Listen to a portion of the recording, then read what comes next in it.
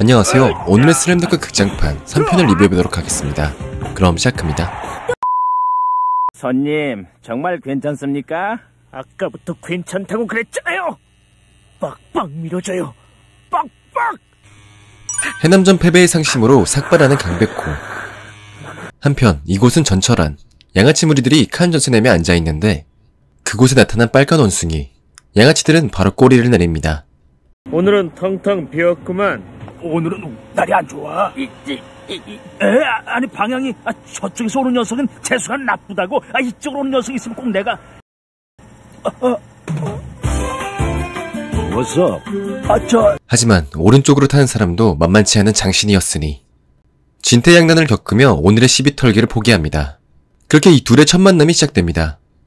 정거장 앞에 서 있는 의문의 차. 낯선 여자의 등장에 잠깐 당황하지만 아까의 외국인을 기다리던 차였습니다.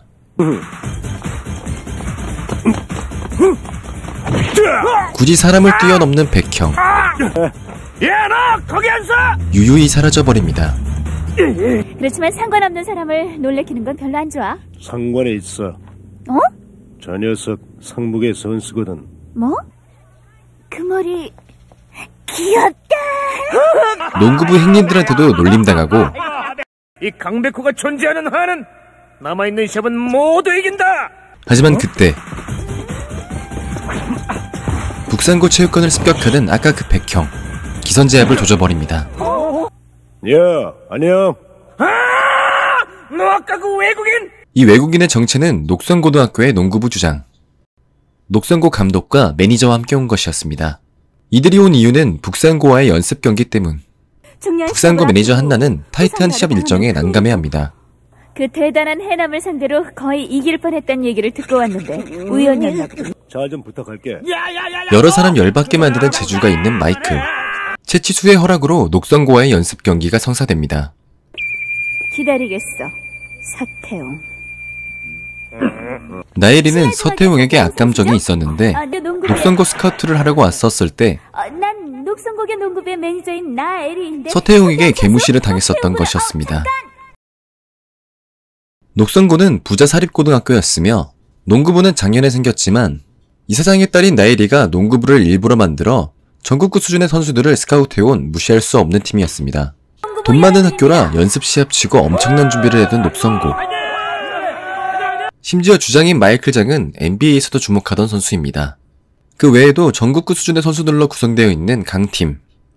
북산고는 해남전 때 발목 부상을 당한 최지수가 시합을 뛰지 못합니다. 북산볼로 경기 시작. 에이스의 가벼운 기선 제압. 하지만 예상대로 녹성은 강팀이었습니다. NBA가 주목하는 선수와? 정대만의 중학교 후배 함영군의 활약.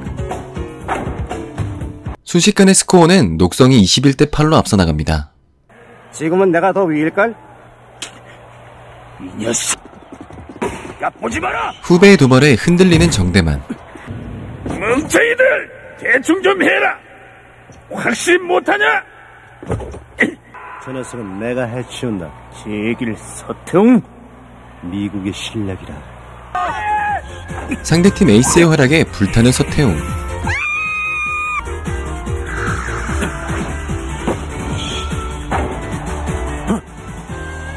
역시나 경기는 후반전으로 들어섭니다. 10년은 멀었다.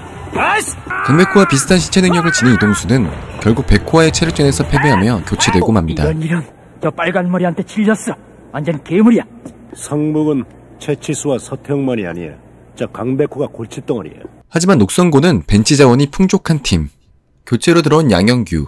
이들은 쌍둥이였습니다. 이것은 마치 그림자 무신수를 마주하는 듯한 느낌. 바짝 추격했던 북산이었지만 다시 점차 스코어가 벌어집니다.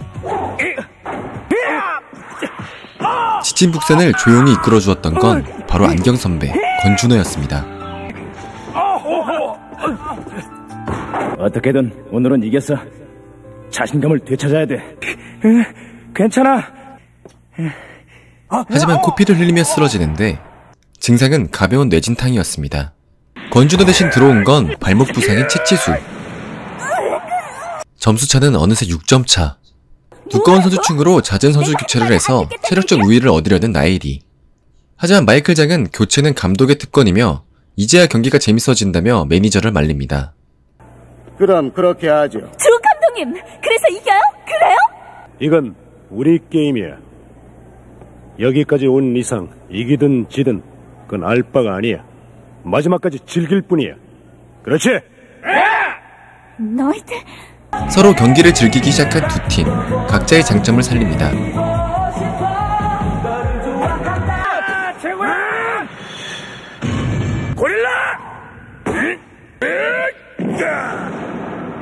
드디어 북상고의 역전. 이동수의 속공을 block하고 곧바로 뛰어나가는 강백호. 하지만 레이업도 못하는 초보. 오히려 너무 초보라 마이클 장을 속이고 멋진 슬램덩크를 보여줍니다. 아쉽게도 경기 시간이 종료되어 백호의 덩크는 노카운트. 그렇게 양팀의 연습 경기는 끝이 나게 됩니다. 어느새 친해져 버린 양팀. 아, 대만 선배. 뭐냐 하명은? 좋았어요. 선배하고 시합했어요. 공식전에선 볼 일도 없겠지만은 앞으로도 열심히 에이, 무슨 소리야? 난 겨울에도 나갈 거다. 마이클 장은 다시 미국으로 돌아가 농구 수업을 받을 예정이며 미국이라. 마이클 장을 보며 미국에 더 흥미를 보이는 서태웅. 이렇게 슬램덩크 극장판 3편은 끝이 나게 됩니다. 소개란과 고정 댓글에 나머지 극장판 시리즈도 있으니 봐주시길 바라며 시청해주셔서 감사하고 좋아요와 구독 부탁드려요. 슬램덩크 극장판 4편에서 만나요.